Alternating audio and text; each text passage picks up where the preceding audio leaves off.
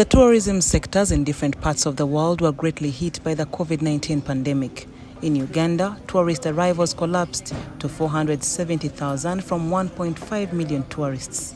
The Minister of Tourism, however, says this period taught Ugandans to tour their own country. Bahinduka further urged Ugandans to embrace tourism. This way, the tourism sector can continue to thrive without being dependent on the foreign tourists. That is this opportunity to call upon every Ugandan. If you have some time, come go experience. I mean, it will be fun. None, nothing official. No, no one is going to put on ties, and it's going to have fun, enjoy ourselves, and then yeah, tell the story to those that wouldn't have traveled with us. But I also want to call upon um, all the other people. I know a number of people um, are going to come on board, participate, support in whichever way possible.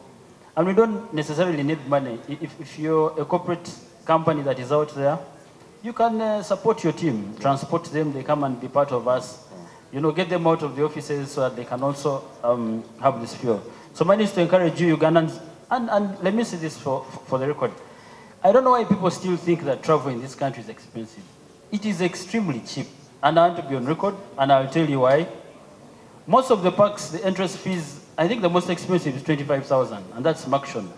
The rest is 20,000. Work now is, uh, is uh, what, 10,000 to, to, to go to Uganda Life Education Center. So it's cheap. In most of the savannah parks, from Murchison Falls to Queen Elizabeth, you can get accommodation as cheap as 50,000 shillings a night. Available statistics indicate that the tourism numbers to the national parks fully recovered when compared to the pre-COVID level. Visitations to national parks grew by 7.5% in the first months of 2022. Meanwhile, the Minister of Tourism, together with Uganda Tourist Board, have launched the Explore West campaign. The campaign that runs from 12th to 17th April and will explore all tourist attractions in western Uganda. Why do you love the West so much? What is Okay, as a as a fellow Westerner from West Nile. Okay. Is, uh, okay, I'm on your side. West Yeah, Nile, we are there. um, uh, I'll never get enough of, of my country. I've, uh, I've been blessed through my work to travel. And there's nothing as uh, disturbing as reaching a place. This is your country, and you do not know anything about it. True. You're finding uh, a monument, and they're telling you the history about it. But because you're focused about work, you don't give it that much attention until you sit down and go. I was, I was actually in the West over the weekend.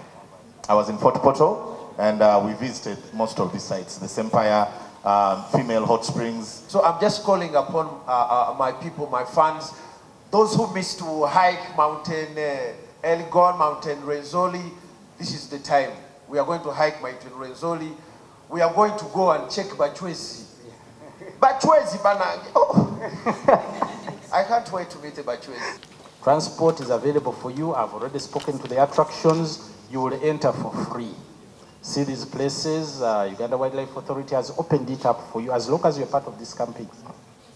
Has opened it up for you so that you see and tell the others. Africa's greatest, uh, Patrick Salvador. Report compiled by Rachel Nachuala for the news. Zubeda Ibrahim Biko